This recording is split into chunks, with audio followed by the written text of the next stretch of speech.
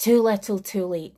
This is a comment that reflects how so many people are feeling right now about the news of recent changes to safeguarding in the Church of Jesus Christ of Latter day Saints here in the United Kingdom, and hopefully these changes that will be rolled out across the world. You're absolutely right, and you're not wrong to feel this way.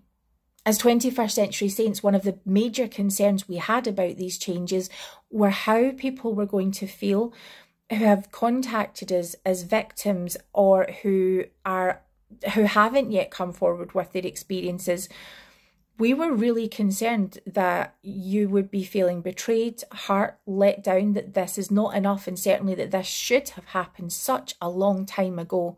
You should have been kept safe. You're right, you should have been. What I would say is that these changes and their evolving changes will keep people safe now. People who are currently engaged with the faith or who may be in the future. This is going to help.